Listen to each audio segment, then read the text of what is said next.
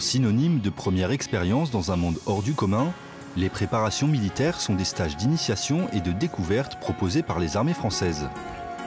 Ouvertes à tous les jeunes de 16 à 30 ans, elles permettent une immersion d'une semaine ou de plusieurs week-ends au sein de l'armée de terre, de la marine nationale ou de l'armée de l'air et de l'espace. Vie en communauté, respect de l'uniforme ou encore activité physique, autant d'éléments qui offrent à chacun la possibilité de découvrir par eux-mêmes le quotidien d'un militaire. Ils s'appellent Ryan, Vanille, Lett ou encore Axel et ils ont décidé de tenter l'aventure. Ils font partie des quelques 12 000 jeunes Français à faire chaque année leur premier pas en treillis.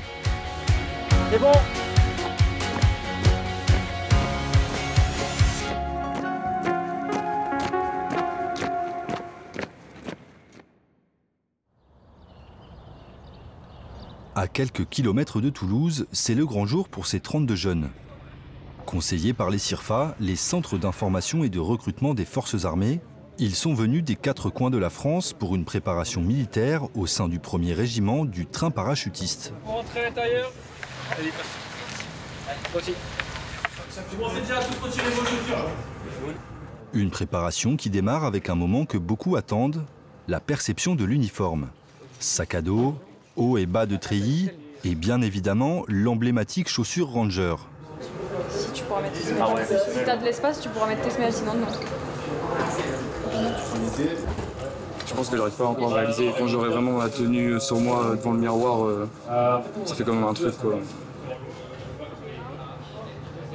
Je suis content, forcément. Je suis euh, heureux de porter ça. C'est c'est une fierté parce que c'est le début, on va découvrir, mais tout simplement heureux. Voilà. Une fois l'équipement récupéré, les stagiaires prennent possession de leur quartier et enfilent pour de bon leur uniforme. Le temps de faire les derniers ajustements et une rapide photo souvenir qu'il faut passer aux choses sérieuses.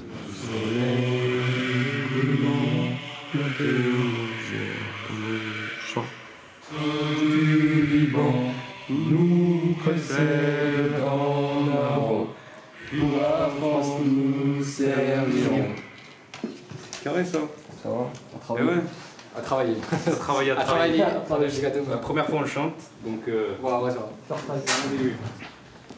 Car s'il est une chose que tout stagiaire apprend durant une préparation militaire, c'est bien l'OS. Comprenez L'ordre serré. En avant. Marche Deux La moule et sillons sous le ciel gris, malgré la fatigue. L'OS, c'est une des premières choses qu'on apprend quand on rentre dans l'armée.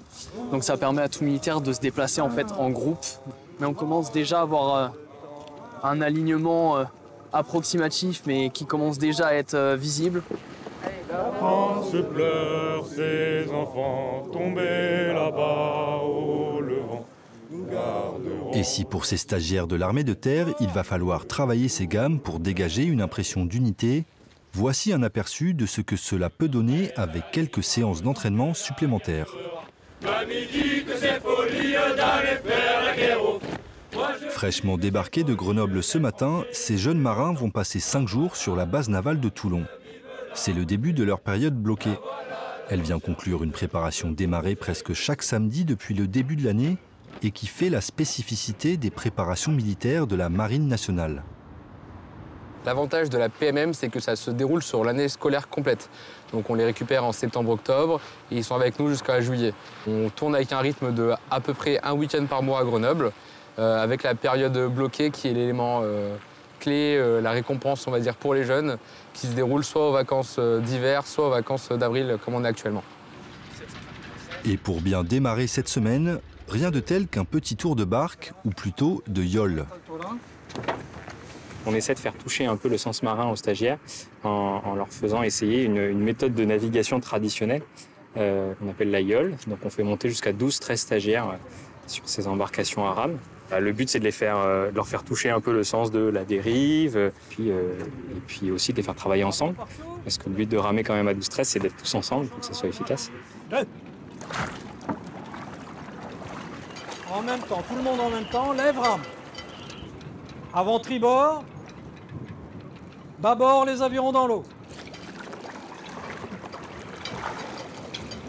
Bah, la synchronisation, euh, c'est un peu compliqué parce qu'en plus, on n'a même pas tous la même force. Donc, c'est un peu compliqué de tout coordonner. Et même au niveau du mouvement, en plus, on est débutant. Donc, la vitesse euh, auquel on le fait, euh, à laquelle on le fait, c'est un peu plus dur. C'est difficile, c'est pas la même pour tout le monde. Mais euh, on se connaît déjà un peu. La cohésion, je pense que ça a aussi aidé.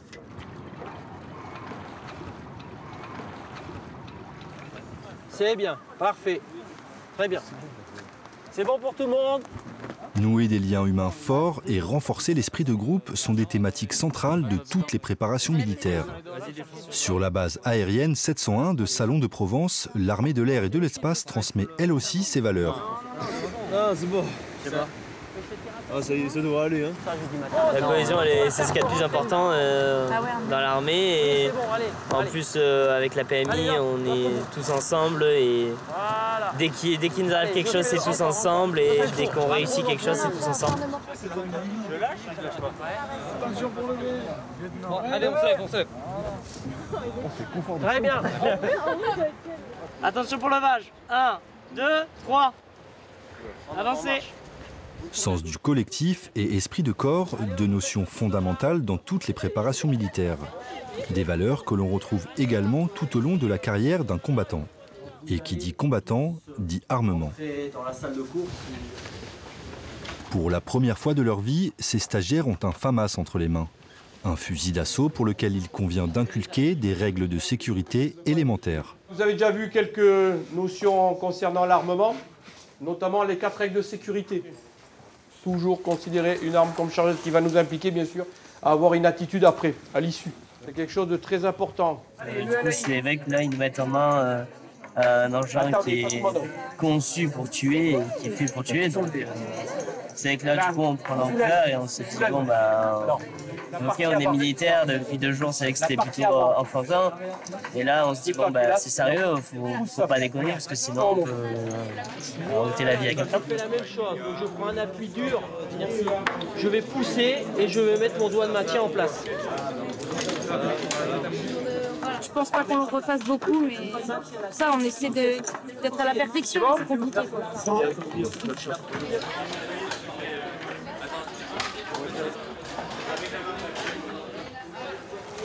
Et du côté de l'armée de terre, après la théorie, place à la pratique avec une initiation à la moelle, la maîtrise opérationnelle de l'armement léger. Et là, tu es prête. Ça veut dire qu'à tout moment, si tu dois faire feu, tu n'auras plus qu'à juste élever, tirer.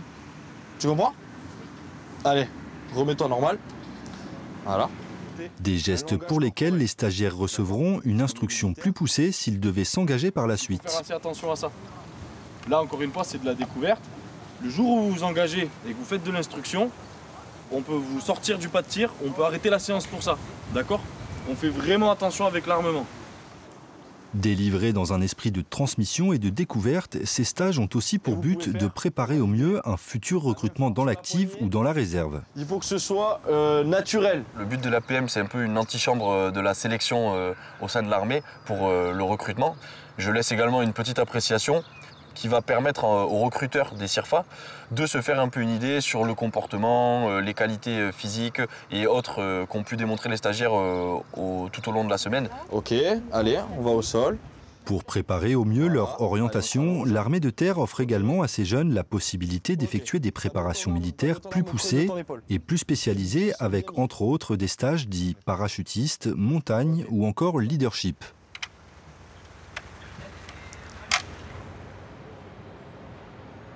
Sur la rade de Toulon, l'ambiance est à la révision et le stress est palpable.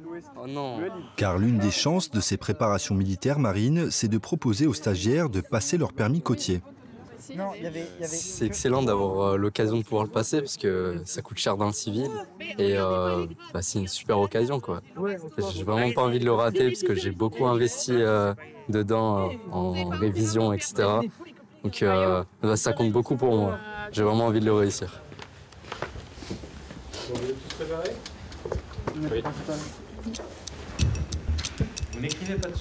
Pour nos candidats, plus le temps de réviser car l'épreuve commence maintenant.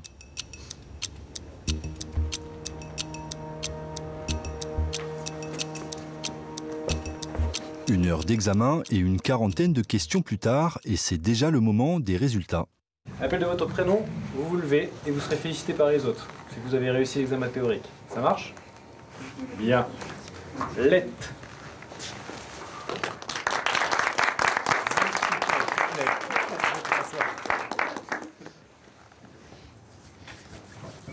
Je pensais l'avoir bien réussi et bah effectivement j'ai réussi. Donc euh, ouais, je suis heureux. Baptiste Très satisfait de ce cru 2024. 10 euh, réussites sur 12, donc c'est un plutôt de bonne stade pour nous. Donc là, c'était la théorie, il ne reste plus, la prat- plus que la pratique. Et on va essayer de la travailler d'ici vendredi. Et vendredi, on se retrouve sur le point d'eau pour, euh, pour mettre euh, en pratique un peu tout ce qu'on a vu ensemble.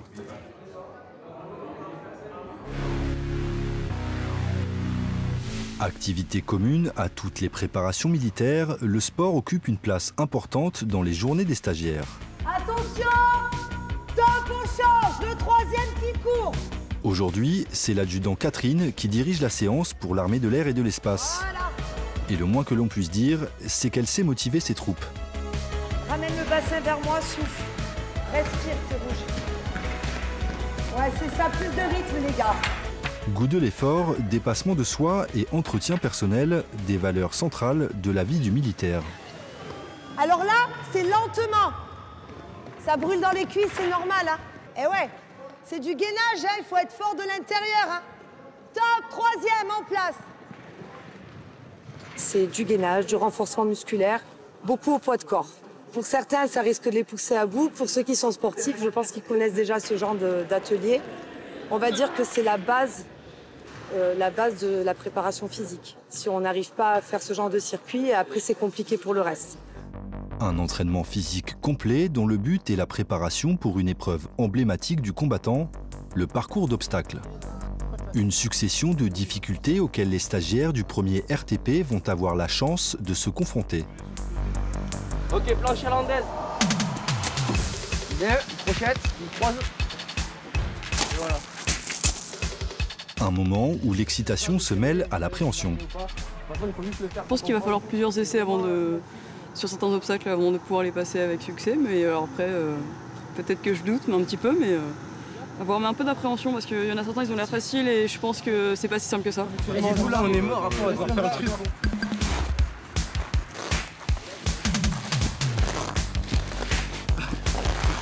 Poussés dans leur dernier retranchement et malgré la difficulté, les stagiaires découvrent qu'ils sont capables d'y arriver. Une source de fierté pour beaucoup d'entre eux. Sent une fierté de, de- réussir les obstacles. Enfin, c'est... On en est content, simplement. Voilà. Et si pour certains cette initiation est une véritable épreuve physique et mentale, elle offre la possibilité au groupe de renforcer sa cohésion.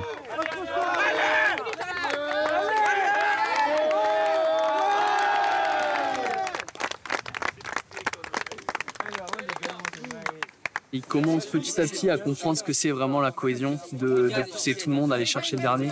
Et voir ça, franchement, c'est top. C'est qu'ils commencent vraiment en très peu de temps à comprendre ce qu'on attend d'eux et euh, ce que demande l'armée, tout simplement. Donc euh, voir ça, c'est top. Et ça permet de déceler aussi euh, des vrais potentiels pour l'engagement après derrière.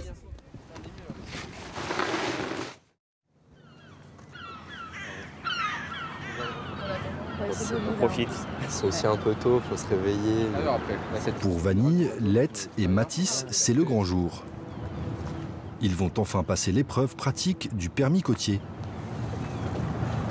Un examen pour lequel le maître principal Didier va les cueillir à froid. Allez, ça commence par savoir amarrer un bateau.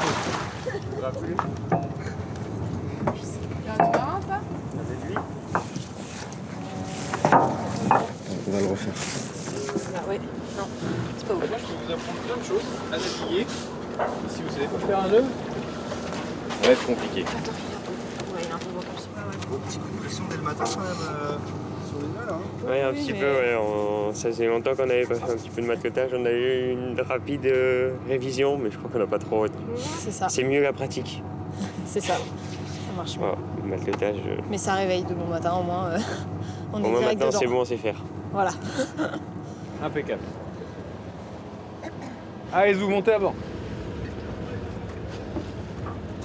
Pour euh, la majorité, ils n'ont même pas le permis voiture, donc c'est vraiment le premier engin motorisé qui sont entre les mains. Il y a de l'enjeu pour eux. Ils sont confiants avant de mettre le pied sur le bateau, et dès qu'on les met derrière la barre et qu'ils ont la responsabilité de leur équipage et du bateau, Et là, il y a une prise de conscience, ils deviennent plus assidus, plus, plus stressés. C'est normal.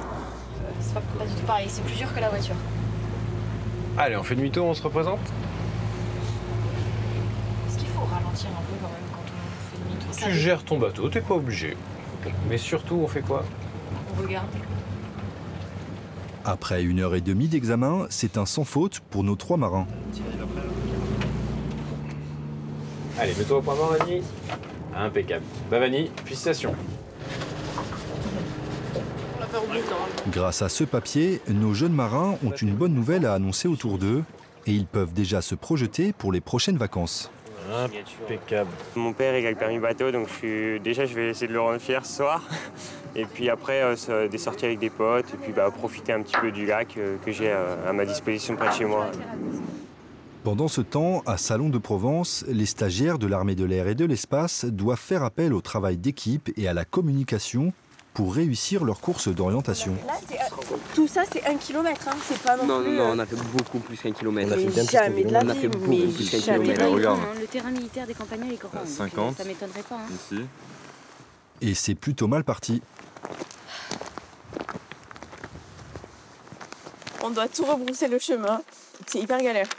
En plus, euh, personne t'écoute, j'ai l'impression. Tout le monde fait un peu euh, ce qu'il veut, donc euh, ça aussi bon. Après des débuts poussifs, les stagiaires localisent enfin la première balise. Un succès qui les met sur le bon chemin. Ok, là-bas. Si, si on n'est pas il faut aller là-bas. là-bas. Là-bas. Par là. Oui, donc c'est ça Ouais, ah non, le chemin, j'avais pas vu.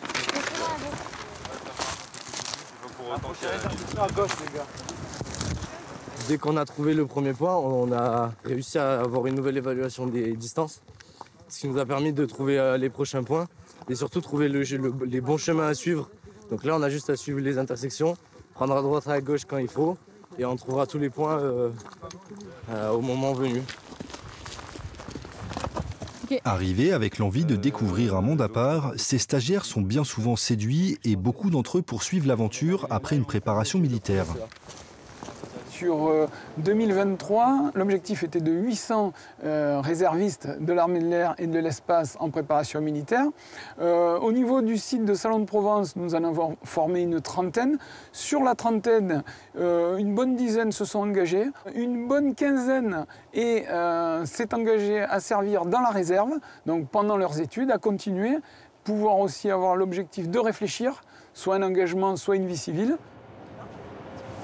Le deuxième, lui, il va devoir aller de l'autre côté. Le troisième, lui, Pour l'armée de terre, ces préparations servent aussi de tremplin pour les stagiaires puisque 50% des engagés comme sous-officiers ont réalisé une préparation l'année de leur engagement. Un chiffre qui monte à 60% pour les officiers sous contrat. Des stages qui permettent donc souvent de confirmer des vocations. Donc je sais pas pourquoi il y en a ils veulent aller dans l'espace. Moi je voulais être militaire euh, depuis que j'ai 3 ans. Donc là c'était euh, l'occasion de vraiment voir comment ça se passait et la vie militaire euh, comment c'était. Donc pas de mauvaises surprises, que des bonnes. Et on voit plein de choses qu'on voit pas dans le civil et tout ça. Donc franchement c'est vraiment cool. Et s'il est une chose que ces stagiaires ne verront nulle part ailleurs, c'est bien cette réplique d'un avion A400M. Un simulateur qui permet aux soldats du premier RTP de s'entraîner et de parfaire leur maîtrise d'un savoir-faire qui les rend uniques. Le premier RTP est donc spécialisé en livraison par air et euh, c'est le seul régiment de l'armée de terre en France et, euh, en Europe à proposer cette spécialité, ce qui le rend euh, vraiment unique, ne serait-ce qu'au sein de la brigade parachutiste, puisqu'il est le seul euh, régiment de troupes aéroportées à, effectuer cette livraison par air, et euh, au niveau aussi de l'arme du train, puisqu'il est le seul régiment du train à être parachutiste et à faire euh, cette livraison par air. De retour à Toulon, nos jeunes marins s'apprêtent à vivre un moment marquant. Avec leur temps de préparation plus long, ils vont être les seuls à avoir le privilège de tirer avec des FAMAS.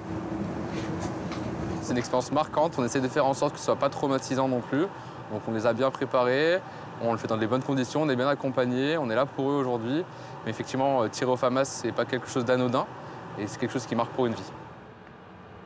Alors pour un tir de 5 cartouches à 50 mètres, en position couchée, en position. Ok, commencez le feu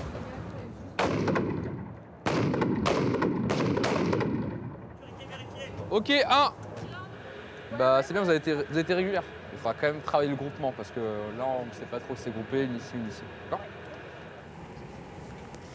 Une séance de tir qui n'a duré que quelques minutes mais dont l'écho résonne encore en eux. Euh, au moment de tirer, euh, le premier tir surtout, euh, on a, on a senti, j'ai senti un petit peu le recul et le son. Et c'est vraiment stressant, il y a vraiment le cœur qui s'accélère d'un coup. Et après, au fur et à mesure qu'on tire, ça va un petit peu mieux, on se détend de plus en plus. Parce qu'au début, j'avais mal aux épaules. Et après, je me suis détendue. et voilà, c'est vraiment crescendo. Au début, on est bien bien stressé et après, ça va. C'est une belle expérience et ça nous a vraiment montré ce que c'était et au moins on peut vraiment euh, se dire euh, qu'est-ce que c'est euh, qu'être militaire et qu'est-ce qu'on va faire plus tard. Pour l'ensemble des préparations militaires, la semaine touche à sa fin.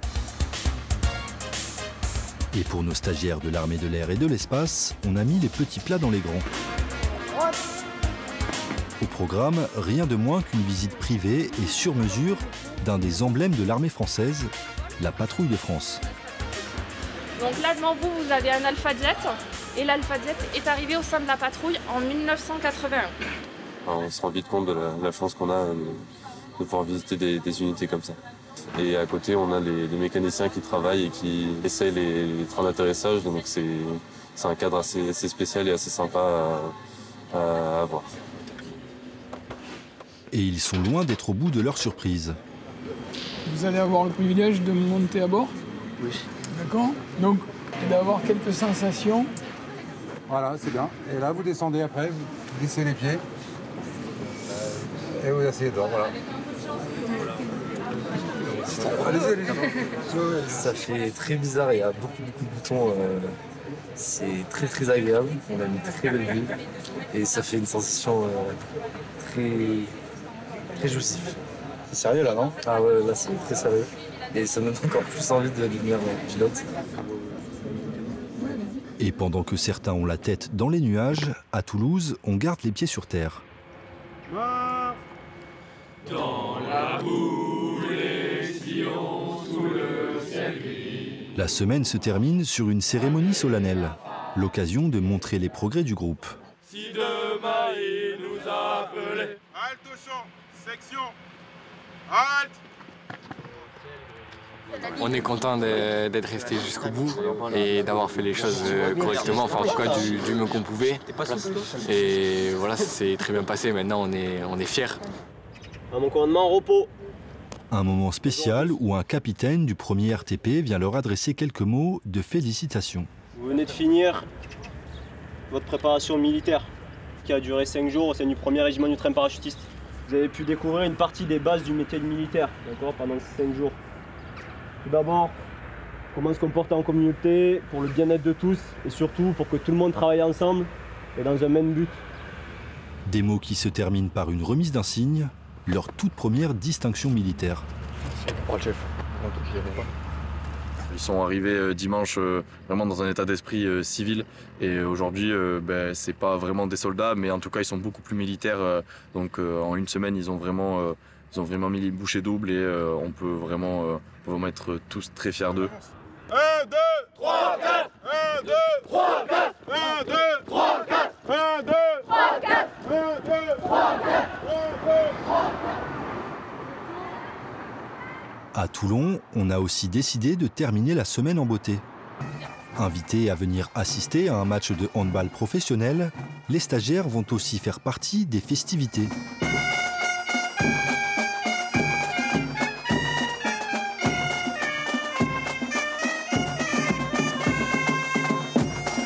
Pendant que le bagade de Saint-Mandrier s'occupe de l'ambiance musicale, nos jeunes auront la lourde tâche de faire une aide d'honneur à l'arrivée des joueuses sur le terrain. À gauche, gauche.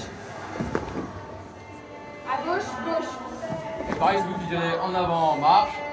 1, 2, 1, 2. On fera pareil dans l'autre sens, d'accord S'il vous plaît, mesdames et messieurs, un tonnerre d'applaudissements pour saluer l'arrivée des stagiaires de la préparation militaire marine de Grenoble